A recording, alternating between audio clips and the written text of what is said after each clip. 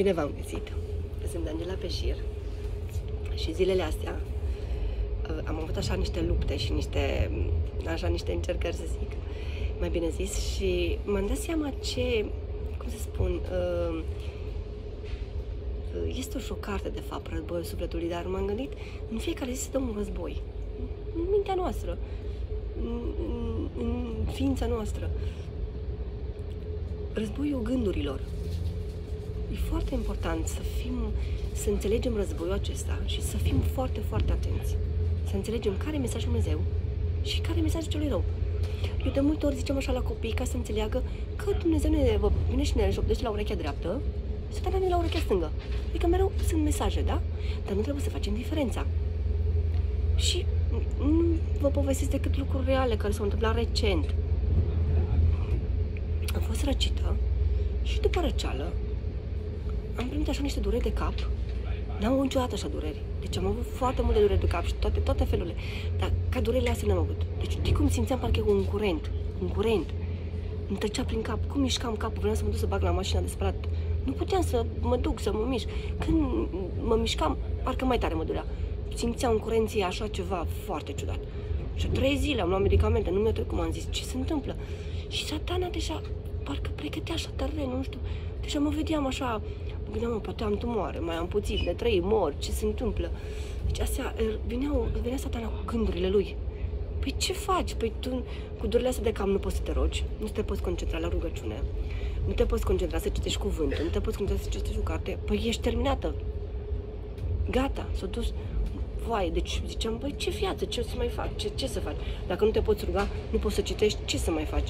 Nu poți să lucrezi prin casă, uite, nu poți să fac ceva de mâncare, să Mă duc să bag la mașina de spălat. Deci trei zile am crezut parcă sunt iad. Dar vine satana cu gândurile lui. Gata, totul e pierdut, nu mai poți să faci proiectele, aveam programate niște proiecte în ianuarie, cum? Cum să te concentrezi? Nu puteam să citesc o pagină. Luam Biblia că dimineața când mă trezesc. Citesc cuvântul lui Dumnezeu și mă rog. Nu puteam să mă rog. Alea trei zile n-am putut să mă concentrez. Am luat Biblia, încercam să citesc. Parcă mai tare, parcă erau curenți din Am zis, băi, am mai avut dureri. Nu luat medicamente de dureri, nimic, niciun efect zici că, băi, deci trei zile am zis, gata, sunt în iad.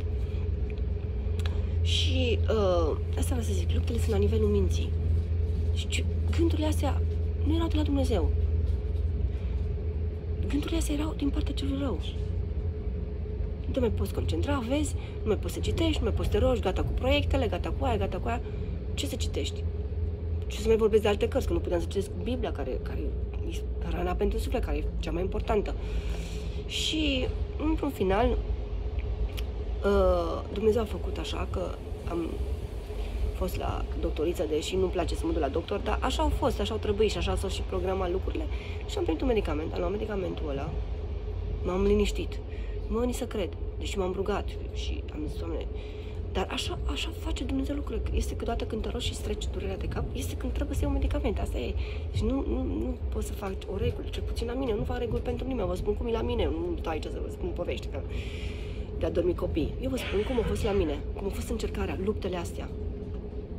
Că și după durerile astea, când am început să citesc cuvântul Dumnezeu, și am văzut acolo, în Psalmul 139, că El știe gândurile, că El ne, ne-a țesut în pântecele mame noastre, că El știe când stai jos, când te ridici, El cunoaște toate lucrurile.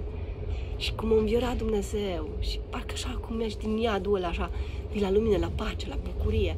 Ce minunat lucrează Dumnezeu. Când ești acolo, ai impresia că totul e pierdut. De să zic, să aveți scris la gânduri, că alea, nu alea domină, tu nu rămâi acolo, alea au fost trei zile de încercare. Dar tu mergi în fericire, în lumină, în pace, în bucurie trăiești peste zilele alea, alea vin încercările, vin gândurile alea, dar noi nu rămânem acolo, da? Trebuie să ascult, vedem de unde sunt gândurile alea, nu le acceptăm. Totul e ruinat, gata, totul e pierdut. Trei zile au fost. Chiar dacă de multe ori, alea trei zile, simți așa o povară, parcă sunt trei săptămâni sau trei ani de multe ori, știu că nu e așa de simplu și ești acolo apăsat și parcă te simți în valea plângerii, când ești apăsat tot mai tare, tot mai tare. Dar foarte important să faci diferența de gânduri. De exemplu, legat de gânduri, poate aș ar vrea să amintesc puțin și uh, uh, un exemplu care s-a întâmplat acum de o oră, să zic așa. Uh, trenul nostru avea întârziere, da? Și uh, noi trebuia să mergem cu un tren, să prindem alt tren. Și cum aveam întârziere, nu știam dacă mai prindem celălalt tren, da? Și un grup era discuția, păi nu mai, stai să vezi dacă mai prindem trenul, dacă nu prindem trenul, ce facem? Și tot felul de gânduri care nu și aveau rostul. Și am zis atâta. Păi, nu mai discutăm, nu ne mai stresăm, că nici n-am ajuns la gară, nici nu știm ce sunt. Ce, când suntem acolo, vedem atunci ce se întâmplă. La ce rost atâtea gânduri? La pentru ce? Trebuie să vedem când ajunge trenul. Deci, teoretic era așa. Uh, trenul nostru da, întârzie, o să întârzie și trenul, trenul celălalt și nu o să mergem acasă. Sau trebuiască să luăm alte trenuri și nu, nu știu, era o încur- încurcătură. Și am zis, măi, stai puțin, nu are rost să stăm și să ne măcinăm mintea, să ne frământăm mintea pe degeaba, că noi nici n-am ajuns nici la gară. Și nu știm. Și am zis, măi, hai mai bine să ne rugăm, hai mai bine să ne încredem în Dumnezeu și El va purta de grijă. Că dacă stăm să ne gândim și să facem planuri și să discutăm, nu, nu ajunge la nicio concluzie. Ne liniștim, egal ce se întâmplă, se întâmplă ce trebuie să se întâmple, știi? Adică, bun, când sunt, uh, uh, ajungem la gară, vedem atunci ce, dacă mai prindem celălalt tren, vedem atunci ce soluții sunt. Dumnezeu a, deja a pregătit soluțiile pentru noi. Deci, știm, asta trebuie să înțelegem și să credem lucrul ăsta, că să nu e o poveste, da? Și Dumnezeu poartă de grijă la copiii Lui. Trebuie să crezi asta. Acum se audă puțin trenul. Trecem peste. Care e ideea? Dumnezeu pregătește toate lucrurile. El îngrijește de copiii lui. Noi suntem copiii lui. Deci noi ce mă refer la mine, da, m-am predat Domnului, am, uh, sunt copilul Dumnezeu, cred în cuvânt, cred în Domnul, în jertfa lui măreață, sunt copilul și o cred că viața mea nu este la întâmplare. Viața mea este condusă de un stăpân, de Dumnezeu atotputernic. Și prin Domnul Iesua, Amașia, Iisus Hristos, eu am viața veșnică. El m-a mântuit și m-a salvat și acum viața mea e condusă de El, nu mai e condusă de mine și de gândurile mele. Satana vine cu gândurile lui, încercările vin, dar El e stăpânul. Hai să poate, un exemplu poate mai simplu. Ești într-o barcă, da? Domnul Iesua, Domnul Iisus Hristos e cu tine în barcă, da? Și acum e soare, acum e ploaie, acum e furtună. Vin tot felul, cum e vremea, nu? Că așa e și viața. Dar Domnul e tot acolo, egal că e soare, egal că e bucurie, că e pace, că e liniște, El acolo, te mângâie, te ajută, te întărește. Dar și când vin furtunile și avalanșele și cele mai mari uragane, El e tot acolo, deci tu tot acolo ești cu El, înțelegi? Mi-mi place să zic de multe că noi suntem în palma Lui, dar scrie și undeva că noi suntem în palma Lui. El ne ține în palma Lui. Păi dacă ne suntem în palma Lui, egal că vine uraganul, egal că vine încercarea, egal că te ești apăsat în valea plângerii, tot în mâna Lui ești. Asta e foarte important să știm asta. Și să nu uităm, parcă noi uităm cu dată cine suntem și cine este El. Chiar dacă poate mă reper în unele videouri, dar noi asta, aici trebuie să avem baza. Să știm cine este El, să știm cine suntem noi. De asta zic, este simplu. Citiți cât mai mult Cuvântul Lui Dumnezeu. Că acolo vedeți cine este El, ce a făcut pentru noi, El e neschimbat, cine suntem noi. Asta e credința, ceva simplu. Oamenii o complică și o complică și o complică. Dar eu e simplă și îmi place foarte mult. Cel mai frumos exemplu, Evrei, capitolul 11. Și credința este o încredere neclintită în lucrurile nădăjduite, în lucrurile care nu se văd, dar care sunt reale și adevărate. E și curentul, tu nu-l vezi, nu? Dar uite, curentul ai aici lumină, de bu, te bucur de lumină. Dar tu nu vezi pe unde vine curentul, cum vine curentul, unde e sursa, cum, cum. Exact așa e și cu Dumnezeu și cu credința, înțelegi?